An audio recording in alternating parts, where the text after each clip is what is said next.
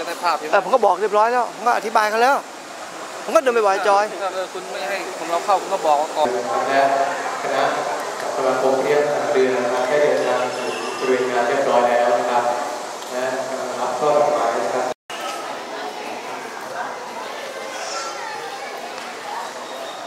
ด้วยวันนี้นะครับทางชมรมให้เกียรติมาเยี่ยมอำเภอผัดครอบครัวค่ายตักสินในวันนี้ ตามที่กองพันทหารราบที่สองค่ายตักสิน ได้รับร้อยดูแลความปลอดภัยในชีวิตและทรัพย์สิน ให้กับประชาชนในพื้นที่จังหวัดนราธิวาสและกองทัพเรือ ในพื้นที่ค่ายตักสินโดยมีแผนการจัดกิจกรรมต่างๆ ตลอดปีงบประมาณ 2000 ครอบครัวค่ะ ที่ศูนย์นมรองประธานชมรมภริยาและวิทยุพินประธานโครงการเพื่อเพื่อว่าที่จะได้สนับสนุนฝ่ายชายที่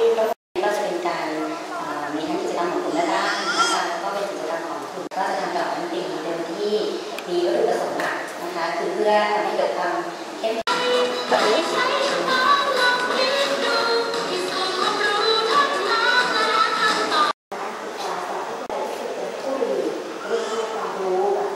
ในในส่วนของค่ายตักสินเนี่ยเราก็จะมีกิจกรรมสำหรับเด็กแล้วก็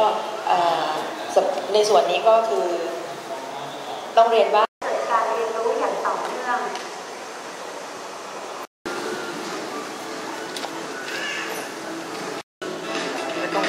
มันบังไม่ได้ต้องมองถ้าบังปั๊บก็คือ